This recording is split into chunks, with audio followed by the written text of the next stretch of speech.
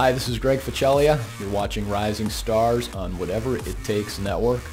Thanks for tuning into the show today. It's episode three, and today's interview is really what the show is all about.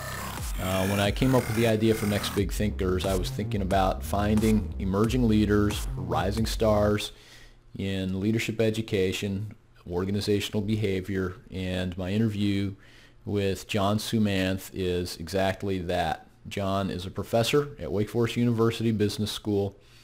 He's young, he's energetic, he's creative. He's doing some very interesting work in that, uh, in part, in that he's he's through the MBA program and executive education program at Wake Forest University.